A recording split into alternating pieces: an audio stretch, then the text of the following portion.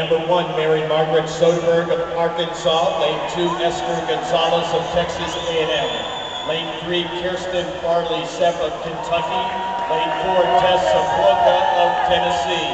Lane number five, Jessie Garrison of Arkansas. Lane six, Ashley Knighty of Auburn.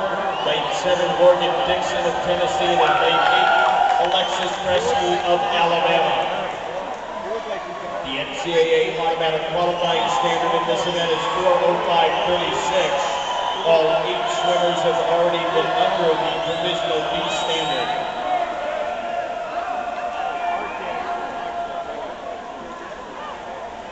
In this field of eight, Farley Sepp had the fastest butterfly in the preliminaries at 56 flat.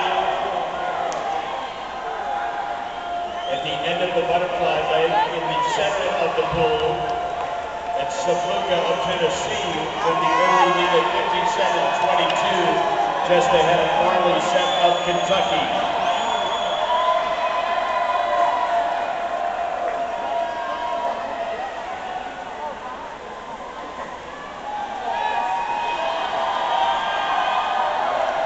Jesse Garrison of Arkansas lane five had the fastest backstroke this morning at 103.7.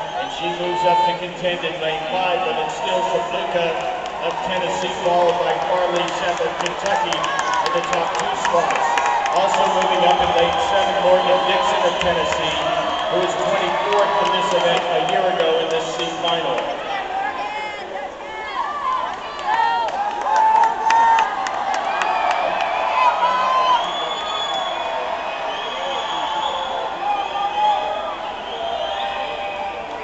The halfway point, Cieplucha has extended her lead 159-8. Farley Sepp remains second, and Dickson third.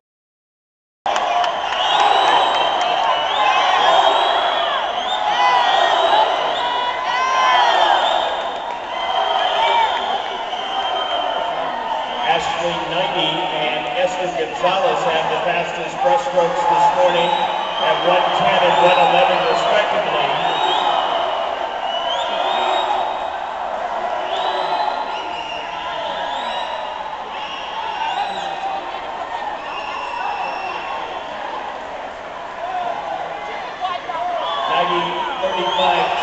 also out on 36 is Soderberg at lane number one as they begin to move up on the breaststroke.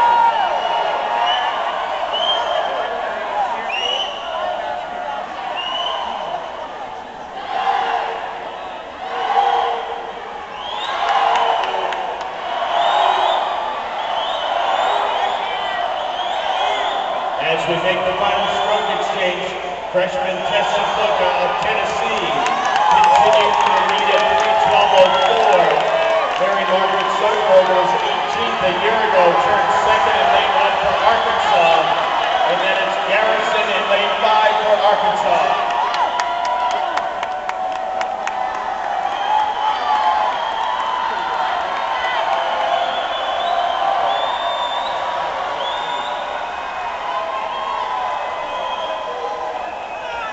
Less than 50 to go, so Fluke stands her lead. The battle is for second and third.